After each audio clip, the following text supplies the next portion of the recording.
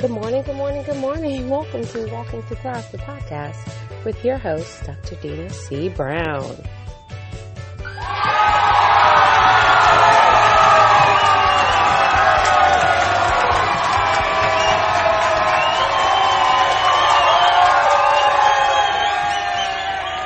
Good morning, good morning, good morning. It is an amazing Wednesday. I call it Wake Up Wednesday. And I am so honored and pleased to come before you and share a little bit of Wednesday. I know it's so hard saying that. Wednesday wisdom here on Walking Through Glass, um, the podcast. This has been an amazing few days, and I've taken a semi summer hiatus from the Daily Dose of Vitamin Dr. D, and that summer hiatus is just cutting back on the days, but really giving you more um, of the meat. So I'm going to play around with um, the days, but I know that I do like Wednesday, right? I like that Wednesday and that Friday. That Wednesday because it's our Wake Up Wednesday, and that Friday because it's our Focus Forward Friday before we actually hit the, the weekend. And I am going to start with posting my conscious conversations on Monday. I think that they're a great way to kick off the Mondays. And so I'm playing a little bit around with that. I'd love to hear um, your thoughts because I want to build back in um, that consistency, but I also want to make sure that the information that is coming to you, that inspiration, those nuggets, are exactly what you need to do whatever it is that you need to live your very best life today. So, the last time that I did a live episode, I talked about moving when God says move, and that you will have a nudging and edging in your actual spirit, and you know that you're supposed to take action on that.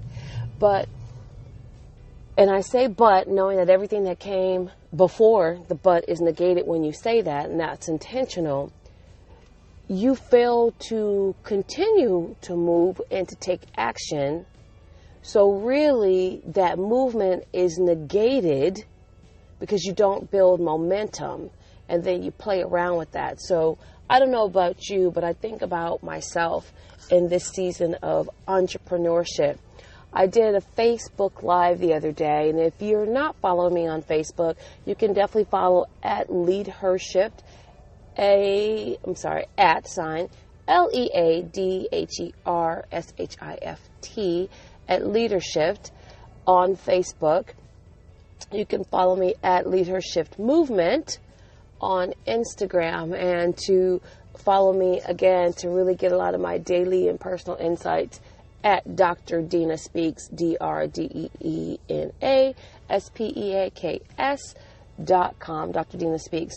And when you click the link um, in my bio, and I will put it actually in the bio for Walking Through Glass, the podcast, you can actually use the link tree and just kind of pick uh, and choose where it is that you want to kind of plug in and, and, catch up to. So, and that's a whole nother um, discussion for another day of how do we optimize our time um, to do that. But part of our optimizing our time deals with what this one thing that I was sharing uh, on Facebook the other day. And I know that as I was sharing it, it was really speaking to me because this is the things that I speak to myself. And so, what I did ask, I asked all of the viewers, I pretty much said, what is the most, the single most ingredient that's the single most important ingredient for entrepreneurs and actually in life? Because at first I was starting to talk about this journey called entrepreneurship. But then, as I really boiled it down, I realized that this ingredient is not just key for entrepreneurship, it is extremely important for life as we know it. And what that ingredient is, is our mindset. How is our mindset shaping our day? How is it setting the course? And, and I'll tell you something a little bit funny. I did a little test today. And if you don't really think that you got to move and you don't start to speak life into yourself and set your intentions at the top of the day, you are mistaken. I want you to try this. So, usually I have like five different um, ringings, I call it, of my alarm bells. One to kind of get me going, the other one to kind of wake me up, and the next one to kind of, you know, put me in that comatose state. And then what I usually do is I lay there for a little bit before I do my devotional prayer and meditation. And then once I finish that, if I don't really start moving and I don't have appointments very first thing in the morning, like this morning, I have to take my car in at 7 a.m. So I knew that my morning was going to be a little bit different for me. So here's here's here's seriously no lie no chaser. And I used to do this before, but I had stopped. As soon as my alarm went off, I used to swing my legs over the bed and I would just sit up. Okay. And what that did was it got me into movement mode, knowing that today I have objectives, I have goals.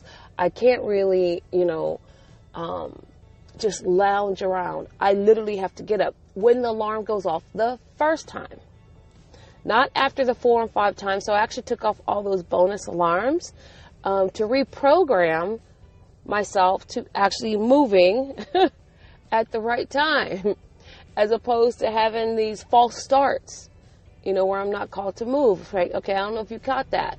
Is that I turned off all those pre alarms to get me ready for getting up. Instead, begin to speak life into my movement and said, You're going to move when it's time to get up. And this is what it looks like. When you hear the alarm, you're going to move. So here's the juicy on it, okay? Is that as I start thinking about that, how I went from getting up when the alarm went off and starting to move, starting, I would jump up, go to the shower, go to the bathroom. I literally would physically move, so then that would set my intention I'd be kind of going for the day. I didn't want to curl back into the covers. I didn't want to stay in the bed. I didn't start playing with my phone. I didn't start reading my emails. I didn't start looking at Facebook. I didn't start doing all of that stuff. I literally would start moving. And so I thought about life and I thought about how many false starts and pre alarms do we set for ourselves? And that we keep saying, I'm getting ready to get ready. I'm getting ready to get ready. So we know we need to move. We start the process and then we boil down the process of getting ready literally into really, I'm kind of getting ready to get ready because I'm not quite yet ready. And then when it doesn't work out, or your opportunity is not what you thought it was, it's not happening the way in which, in the manner in which you needed it to happen, you blame it on, oh, it wasn't for you. Yeah, it was for you, but you just failed to move and to build momentum in that movement, to actually not just stay the course, but push through the actual course. So, with that being said, I thought about everything that's happening in my life, and that even in the midst of the understanding and the knowing, and building the mindset and the capacity for entrepreneurship, blended entrepreneurship, career advancement, whatever. This is again entrepreneurship in life.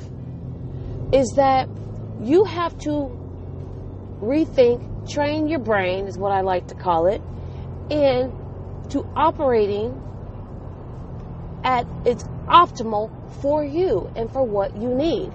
So in this season, I need to be bold, take moves, make moves, keep going, you know, stay the course in the valley of we call the valley of death. When you know you think that success is a straight line it's not. It has dips and roads and valleys and hills. And sometimes when you hit the bottom of the valley and things just don't look right you look to the right to the left and things are surrounding you and caving in on you and you need to stay the course well if you stop moving okay picture this.